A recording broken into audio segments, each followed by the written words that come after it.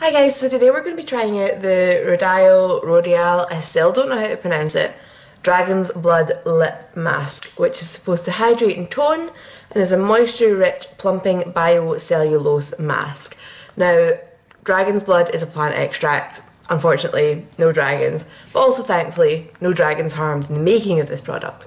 So I picked this up for £6 for one mm, on ASOS. This isn't the kind of plumping mask that's going to like irritate your lips and there's a very good reason for that. I'm going to open it or try and open it.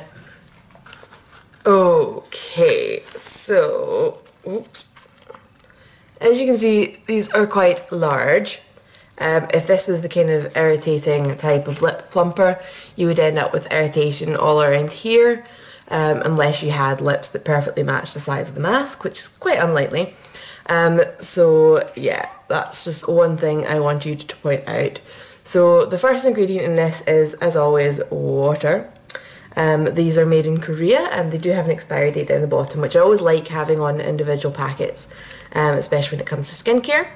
So the instructions are to remove the mask from the protective fabric sheets, apply to cleansed lips. Um, I gave mine a wee scrub with my toothbrush leave for 15 minutes, peel away and gently massage any residue into lips. So I am going to put this on and come back in 15 minutes and we'll see how it goes. Now this is folded in half.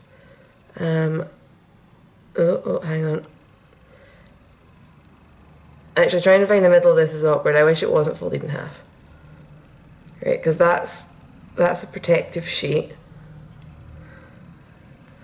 Uh, oh god, there's so much slime on my hands. okay, there we got it, got it, got it, got it, got it.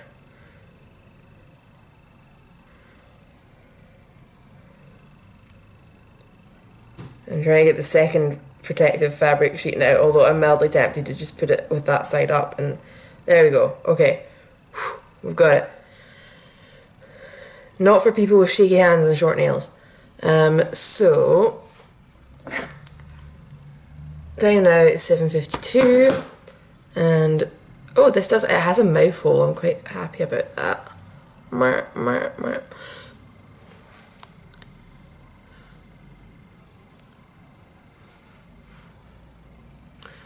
Well that feels weird and looks creepy. Okay, I'll be back.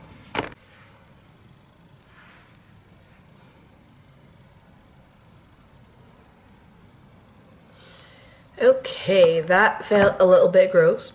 Um, for all that it's got a kind of a mouthful for talking, anytime I tried to talk or move my mouth, it pretty much came loose. So I do have a bit of residue, like they said. Not on my actual skin though, it seems to have absorbed much better outside my lip line, which is strange.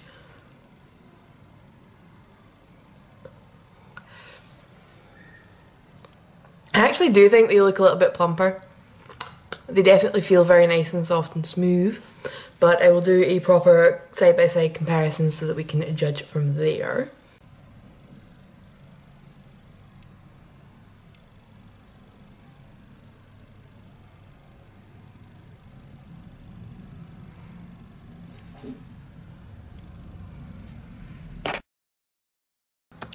Well, what do you guys think? Personally, this feels very nice.